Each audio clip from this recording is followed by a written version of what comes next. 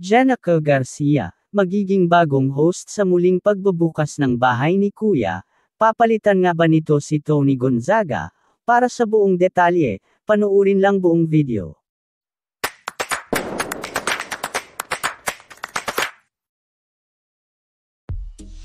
Matapos na maging guest star patroller nitong nakaraang araw ang mahusay na aktres na si Jenica Garcia sa TV Patrol. Sigaw ngayon ng mga netizens more pa para kay Jenica. Hindi lang pagdating sa actingan mahusay ang aktres, dahil ipinakita nito na pang news anchor din ang kanyang husay.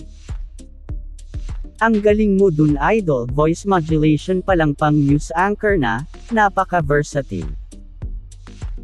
Galing mo po Lodi Jenica Garcia pwede ka as news anchor ganda ng boses mo buo sana kunin ka sa isang show as hosts po like PBB kasi magkatunog kayo ng boses ni Tony G.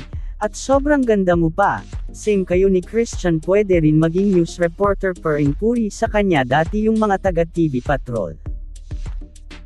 Unang nakita ang kanyang husay sa pag-arte sa kapamilya primetime teleserye na Dirty Linen, nang gumanap ito bilang silala, kung saan dito na mas naipakita ang taglay niyang talento sa pag-acting. Sa pag-guest nito sa TV Patrol bilang mga guest patroller kasama ang kanyang partner na si Melay Cantiveros na talaga naman kwela ang kanilang tandem.